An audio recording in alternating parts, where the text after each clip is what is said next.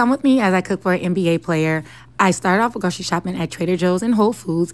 My player had a very strict diet, which was gluten free, soy free, had some allergens, and completely vegan. The arrival dinner was Jamaican chickpea curry, roasted cabbage, and brown jasmine rice with sweet whole plantain. Every meal was cooked fresh, packaged, and delivered immediately. For breakfast, I started off with my candied walnuts. Then I also made some gluten-free, high-protein banana pancakes with vanilla maple syrup, oat butter, and spinach just egg scramble with breakfast sausage. Game day lunch was pretty light. I did a Mediterranean Buddha bowl, and for protein, I used roasted almonds and lemon and cumin chickpeas. The after game dinner was a meatloaf made out of mushrooms, pecans, and black beans, on top of red skin mashed potatoes, Calabrian green beans, and roasted carrots. He loved the breakfast so much the day before, he wanted to repeat it again. For the final lunch, I made stuffed zucchini boats with pecan meat, roasted garlic sauce, warm potato salad, which I am going to give you the recipe for, green beans, and cinnamon and agave strawberries. Now tell me, what player do you think came to Charlotte